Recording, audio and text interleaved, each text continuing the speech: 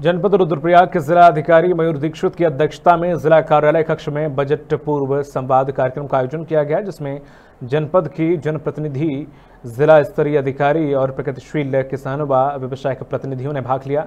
तथा बजट के संबंध में सुझाव दिए गए। बैठक में जिलाधिकारी ने उपस्थित जनप्रतिनिधियों, कृषकों एवं व्यवसायों से कहा है कि राज्य सरकार बजट तैयार करने से पहले सभी जनप्रतिनिधि एवं विभिन्न क्षेत्रों में व्यवसाय एवं कृषि कर रहे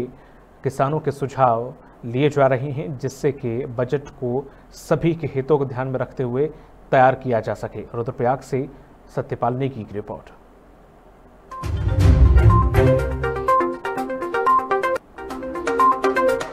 के निर्देश थे कि बजट पूर्व संवाद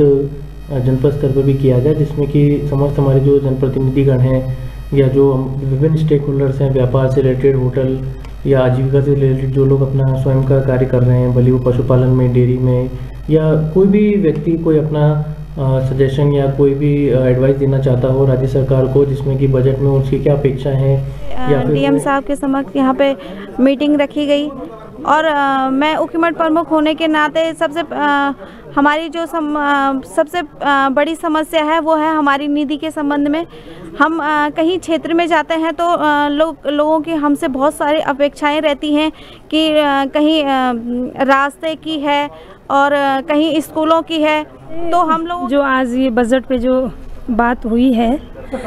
तो वैसे लग तो रहा है कि कुछ हो सकता है पर जिस हिसाब से जो हम्म, हमें दिखता है तो ज़मीन पे कुछ और ही होता है। भले ही यहाँ पे जो